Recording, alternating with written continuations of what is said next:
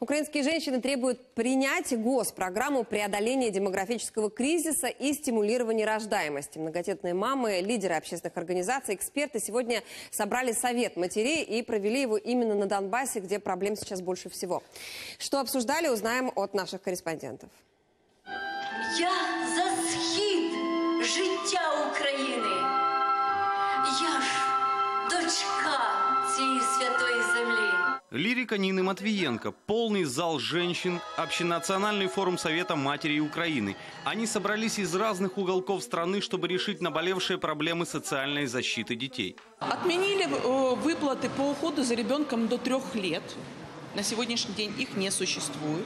Отменили э, градацию выплаты первого, второго, третьего ребенка. Елена из Одессы, мать-героиня, воспитывает 8 детей. Самому маленькому 4 года, старшему 21. Елена не понаслышке знает, как сложно сейчас прокормить и выучить каждого ребенка. Много социальных гарантий для многодетных семей упразднили.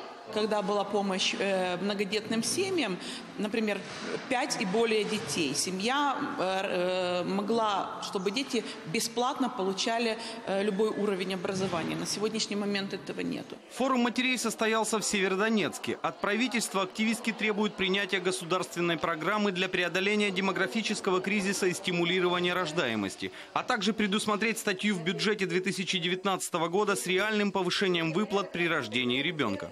Это вернуть сегодня выплаты при рождении ребенка для всей нашей страны, для детей всей Украины. Это вернуть сегодня выплаты до трех лет ребенку и провести нормальную адекватную индексацию. Восстановление льгот многодетным матерям, увеличение выплат при рождении ребенка, социальная защита детей-переселенцев и детей, проживающих в условиях войны на Донбассе – это основные требования матерей Украины.